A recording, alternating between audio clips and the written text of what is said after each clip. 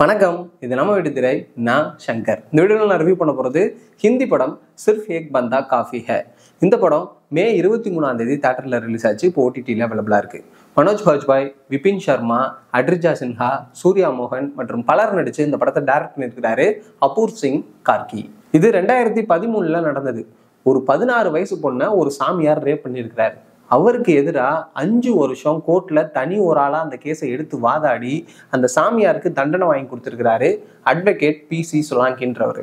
அந்த உண்மை சம்பவத்தை மையமாக வச்சு எடுக்கப்பட்ட படம் தான் இந்த சிர்ஃப் ஏக் பந்தா காஃபி ஹே. டெல்லியில் நடந்த நிர்பயா கேஸ் பற்றி மோஸ்ட்லி எல்லாருக்கும் தெரிஞ்சிருக்கும். ஆனால் இந்த கேஸ் எல்லாருக்கும் தெரிஞ்சிருக்கிறதுக்கு வாய்ப்பு இல்லை. அப்படியே தெரிஞ்சிருந்தாலும் காலப்போக்கில் அதை நம்ம மறந்துருப்போம். அவங்க என்ன காரணத்துக்காக இப்போ அதை படமாக எடுத்திருக்கிறாங்கன்னு தெரியல. ஆனால் கண்டிப்பாக எல்லாரும் இந்த படத்தை பார்த்தே ஆகணுன்றதுக்கு என்கிட்ட ஒரு சில காரணங்கள் இருக்கு. ஒன்று இந்த உண்மை சம்பவத்தை பற்றி தெரிஞ்சுக்கலாம்.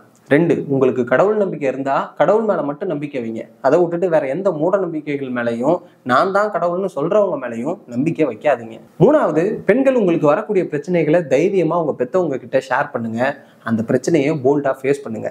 அதே மாதிரியே பெத்தவங்க உங்க பிள்ளைங்களை நம்புங்க. அவங்களுக்கு கடைசி வரைக்கும் உறுதுணையா இருங்க.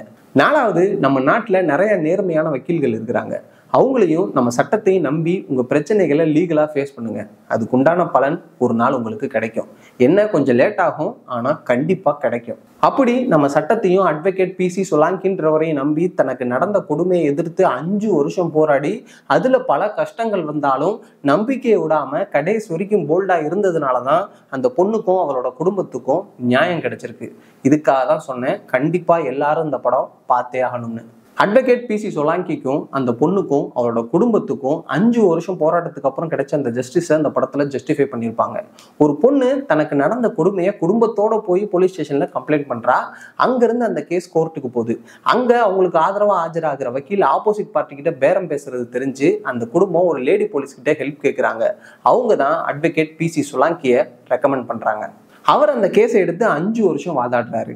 அதுக்கிடையில அந்த கேஸோட முக்கியமான விட்னஸஸ் ஒரு ஒருத்தரா கொலை செய்யப்படுறாங்க. அதையும் மீறி அவர் அந்த கேஸ்ல எப்படி ஜெயிக்கிறாருன்றத ரொம்ப இன்டென்ஸாகவும் இன்ட்ரெஸ்டிங்காகவும் பயங்கர எமோஷனலாகவும் காமிச்சிருப்பாங்க.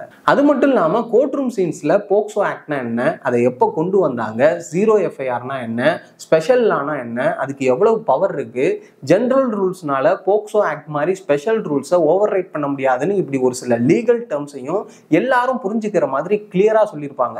எதையும் நம்ம கூகுளில் செக் பண்ணி பார்க்க வேண்டிய அவசியமே இருக்காது. அந்த அளவுக்கு தெளிவாக இருக்கும். ஸ்க்ரீன் பிளேவேஸ் அவங்களோட அந்த அஞ்சு வருஷ ஸ்ட்ரகிளை நம்மளை ரெண்டு மணி நேரத்தில் ஃபீல் பண்ண வச்சுருப்பாங்க.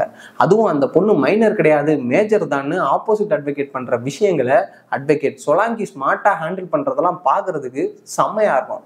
அதே நேரத்தில் இன்ட்ரெஸ்டிங்காக போயிட்டு இருந்த படத்தில் ஆஃப்டர் ஃபைவ் இயர்ஸ்னு காமிச்சு தீர்ப்பு கொடுத்தது ஏதோ படத்தை டக்குன்னு முடிக்கணுன்றதுக்காகவே முடிச்ச மாதிரி எனக்கு ஃபீல் ஆச்சு. மற்றபடி ஸ்க்ரீன் பிளேல எந்த குறையும் இல்லை. சூப்பராகவே இருக்கும். நெக்ஸ்ட் விஷுவல்ஸ் வைஸ் என்னதான் இது ஒரு கோர்ட் ரூம் இருந்தாலும் அந்த கேஸுக்கு சம்மந்தமாக வெளியே நடக்கக்கூடிய விஷயங்களையும் அந்த ஜோத்பூர் சிட்டியையும் ரொம்ப சூப்பராக காமிச்சிருப்பாங்க.